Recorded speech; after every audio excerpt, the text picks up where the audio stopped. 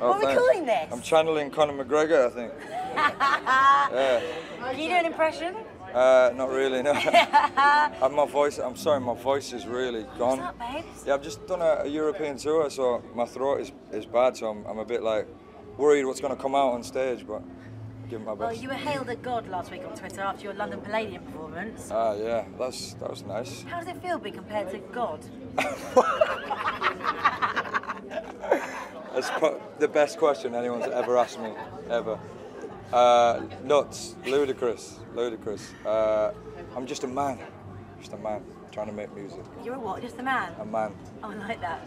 If someone put that on a t-shirt, I'm just a man Yeah. trying to make music. just a man trying to make music. So have you been practicing your Hello Wembleys today? You're probably used to this by now, right? Yeah, yeah, I'm, sort of whispering it today because of the, of the throat, but yeah. Uh, yeah, it's going to be fun. I've done, I've done it before. Uh, I'm, I'm quite relaxed actually.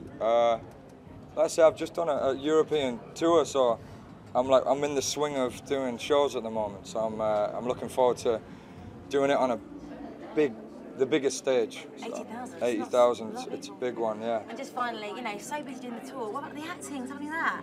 Say it What's happening with the acting? The acting. Well, I, I mean, when I finish this crazy touring schedule, I'll have a look at it. Have a look at it. I like that. I'll open that page. Yeah. I'll try Bob or something. I don't know about that. James, good luck. so Thank good you, to see you love. again, You look very nice today. Oh, thanks. darling. Take care. Hi.